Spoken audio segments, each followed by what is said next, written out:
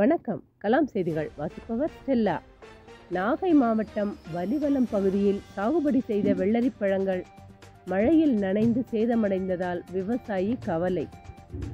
நாகை மாவட்டம் திருக்குவளையை அடுத்த வலிவலம் பகுதியைச் சேர்ந்த சுந்தரம் என்பவர் இந்த பகுதியில் மூன்று ஆண்டுகளாக வெள்ளரி சாகுபடி செய்து வருகிறார்.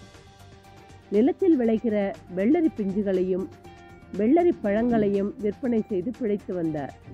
இந்நிலையில் கடந்த ஆண்டை விட இந்த ஆண்டு மகசூல் குறைவாகவே இருந்து வந்த நிலையில் தொடர்ந்து பெய்த கோடை மழையால் வெள்ளரி பிஞ்சுகளும் வெள்ளரி பழங்களும் அழுகி நாசமானதால் மிகவும் வேதனை அடைந்த அவர் உரிய நிவாரணம் வழங்க வேண்டும் என அரசுக்கு கோரிக்கை வைத்துள்ளார். நாகை மாவட்ட செய்தியாளர் மகேந்திரன்.